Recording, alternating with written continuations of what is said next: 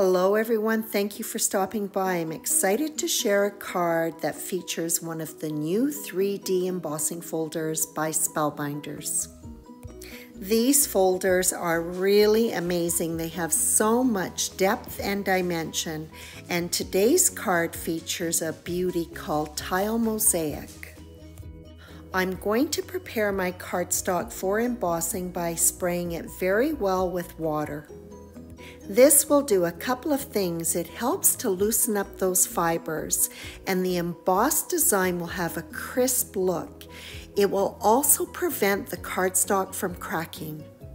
I've already cut the panel to the size that I wanted, 4 inches by 5 and a quarter inches, so I'm making sure that I center it over top of the design so it's the same top to bottom and left to right.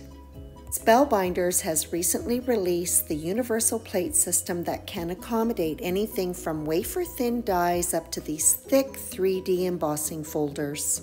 Unfortunately, I don't have it yet, but I figured out a sandwich that would work on my Gemini electric die cutter. I started with the bottom cutting plate, then the folder topped up with the plastic shim. And as you can see, I got a nice result. It's quite wet, so it's set aside to dry completely. And I start preparing my elements that are going to go on the panel. I'm going to be working with another gorgeous die set called Gift Borders and Sentiments. The first thing that I do is I cut some black cardstock with the outline die to create a foundation for the inlaid paper piecing. I'm going to cover this die cut with some Kwang double-sided tape. There's lots of presents with lots of die cuts and this will make it fast and easy to put together. I'm not going to spend my time fussy cutting around this tape. I remove the backing, make some cuts from the outer edge into the die cut, and then fold it up on top of itself.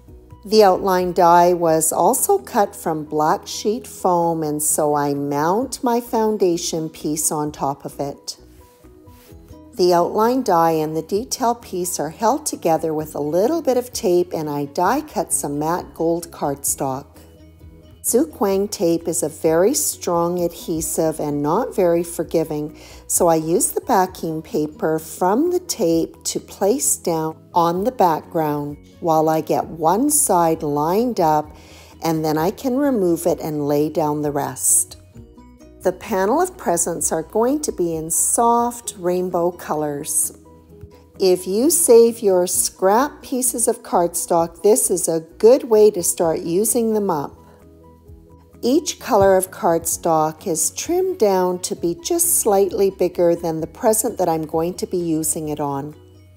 There's a lot of die cutting, so it's easiest for me to use my little mini sidekick by Sizzix right at my workstation, die cut each present one at a time and paper piece it. As usual, if there's anything in this video that grabs your attention and you would like more information, you can find links in the description of this YouTube video or on my blog at bonniecarollee.com. Even though there are many die cuts, this goes very quickly. Firstly, I'm not having to worry about adhesive because my background has been covered with the Sookwang. Using a jewel picker for the tiny die cuts works very well. For some of the presents, the die cuts stay intact on the cardstock or on the die. In that case, I just line it up over top of the image and pop them in place. And I love it when that happens. That's probably the quickest way of dealing with these die cuts. This die set also comes with different styles of bows, which I have die cut from matte gold cardstock to match the outline of the presents. And I just mix it up as I top each present off with these pretty finishing touches. The embossed panel measures 4 by 5 and a quarter inches card front size, and it's going to be adhered to matte gold cardstock that is slightly larger for a thin reveal. I make sure that when I apply the adhesive, I get good coverage across the panel, hitting all of those high points for the back of the panel before it goes onto the cardstock. There is so much dimension on the panel that it actually can pop up, so I set it aside with my MISTI on top until the glue is completely set. And while that is drying, I'm going to apply Tombow glue to my die cut sentiment. It will be set aside to dry completely. When Tombow glue is dry, it is tacky and repositionable. And now I can do a little exchange, setting my sentiments aside to dry, and my panel can be adhered to a top folding A2 size card base. The foam-backed grouping of presents is then adhered to the lower half of the panel.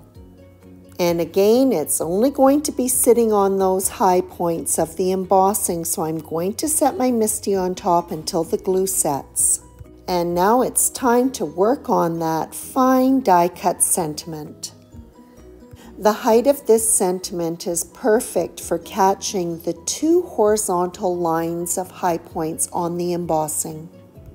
The first thing that I'm doing, which is the bonus of using Tombow glue in its dry state, is laying out my sentiment so that I can get it centered side to side. While I did that, I placed the sentiment lower than I wanted to have it. And when I was happy with the position, then I just took each of the words and sometimes separate letters and moved it up a space. In working with fine die cut sentiments or sentiment phrases where the words are separate, in this case both, using Tombow glue makes it a lot easier to manage. Once I have everything in place, then I can go back and make some adjustments because the Tombow glue in its dry state is repositionable for a while. The card is going to be finished up with some gold confetti just here and there placed on a few of the presents. And to really make that confetti pop, I top it up with Nuvo Crystal Drops Morning Dew. And that completes this card featuring Spellbinder's new 3D embossing folder Tile Mosaic. The dimension is incredible and I love that this is a quick and easy background for any card. Thank you so much for stopping by and as always, I appreciate your visit.